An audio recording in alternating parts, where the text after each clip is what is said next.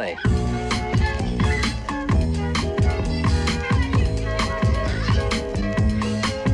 Hello everybody, thank you so much for watching this video. Uh, before I start the video though, I got this idea for uh, drawing all these Japanese mascot characters from this really cool book I bought called Fuzz and Fur, Japan's Costume Characters. So uh, I really hope you guys uh, go ahead and check out the book. The book is actually very well designed and uh, really great excerpts about each and every individual character, which I will be reading excerpts from while I'm drawing. So I hope you enjoy this and please go support them and uh, Open Chan and Lock Chan forever. Look how cute they are. They're so cute. So cute. Alright, so the first guy we got going on in this series, uh, his name is Gota-kun.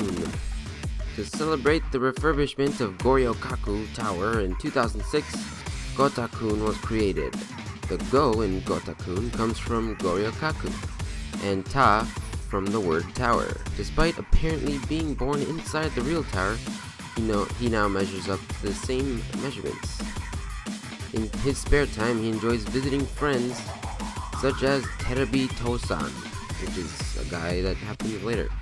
Location Hokkaido Hakodate. Date of birth 1st of December 2006. He is 107 meters tall, 1,200 tons. He is a male. That's his sex is a male because that's important to know.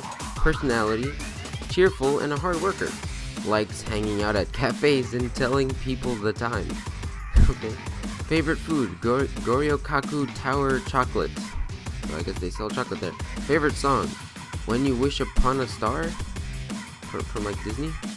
Hobby, visiting other towers. Okay, so a tower that visits other towers. Well, there you have it, folks. Our first character for this series, Gotakun. Yeah, that was fun. Good stuff. Can't wait. Can't wait to read the rest. One take wonder. You know, you can sign.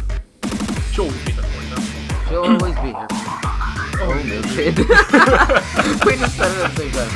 Oh. Mildred, how I love thee. How thy skin shines in the muddy water. As you cannibalize some dudes. what is wrong. Cannibalize the Yeah.